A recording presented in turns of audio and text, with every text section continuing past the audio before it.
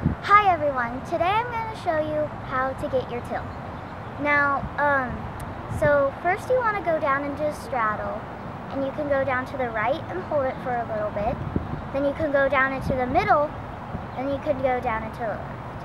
I also did my right splits, my middle splits, and my left splits, and over splits. And also I did some of these things.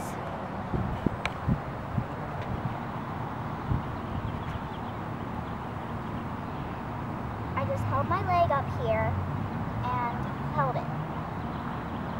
Then I would um, attempt to let go of the thing I'm holding on and hold it like this. I would also do this a little bit to stretch out this leg. Now, I'm going to show you what a tilt looks like when you're all the way down.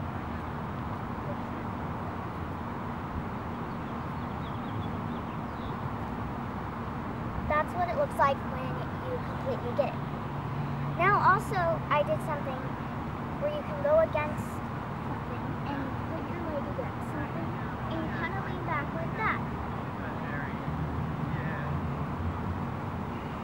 I also held my leg up and just went like this and held it for a while, then went down, then down, and farther and farther until I reached that position.